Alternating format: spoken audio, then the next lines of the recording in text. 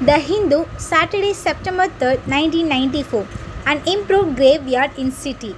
Granny's ghost tales and Bram Stoker's images of Dracula come back with a shiver up the spine at a bile ground.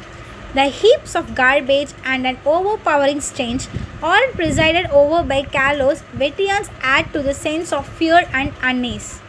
But the Kannamapet ground at T. Nagar, with its high walls and tree-lined pathways, is a contrast.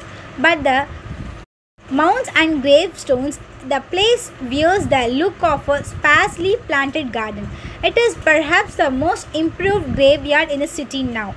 Improvements to the tune of rupees 26.67 lakhs have been taken up at the burial ground by the Madras Corporation. A new cremation shed has been put up at a cost of rupees 2.47 lakhs and the compound wall has been raised to 8 feet. A part of the burial ground, which was a low level area, has been filled and an electrical crematorium is being installed at the site at a cost of rupees 24 lakhs. A bore well and an open well take care of the water needs. Private security personnel have been hired to keep off the antisocial elements who used to hover around the graveyard, using it to stock illicit liquor and other contraband. A voluntary organization, Param Shanti Nilayam, managed by the Rajasthani Jain Samaj and Exnora International, is constructing a prayer hall at the burial ground. The foundation stone for the hall was laid on August 28. The organization has also planted saplings in the burial ground. People had been complaining about the appalling conditions at the burial grounds and also the fleecing by veterans. Suspensions of license of the veterans by the corporation followed, but the fleecing was carried on by others. The need to make large-scale improvements to burial grounds came up for serious discussion last year and it was decided to add amenities in a phased manner. The corporation maintains 33 burial grounds and an electrical crematorium. Three of the burial grounds are exclusively for the Christians and one for the Muslims. The electric crematorium constructed at Besant Nagar at a cost of rupees 50 lakhs started functioning last year.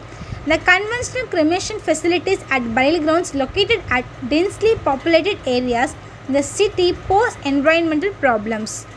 To overcome this, the corporation plans to phase out the traditional cremation facility and substitute it with the environment-friendly electric cremation facility. As a first step, the Besant Nagar electric crematorium was constructed. Although there was an initial hesitation among the people, it is now operating successfully. Three more such structures are planned at Velangadu, Moolakothalam and Kannamapet burial grounds at a cost of rupees 2 crores. The Velangadu electric crematorium being built at a cost of rupees 22 lakhs will be ready soon. Improvements have been proposed to other burial grounds also. The work proposed includes construction of sheds for cremation, improving roads and street lights within the burial ground, provision of compound wall to prevent unauthorized entry, water supply and push carts for the carrying the bodies. Two years vans have also been procured by the corporation for transporting bodies to burial grounds and three more are being procured at a cost of rupees 9 lakhs during 1994 to 1995.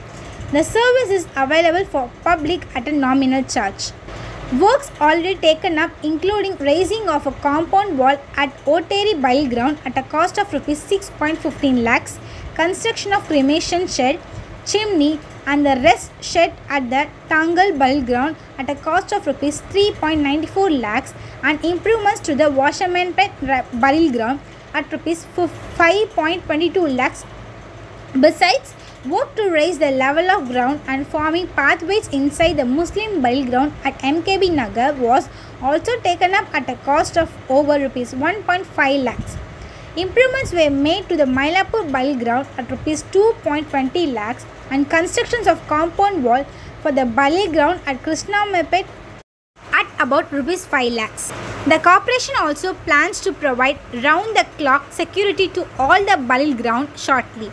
The putting up of electric crematorium is expected to bring down the incidence of fleecing by veterans, officials said.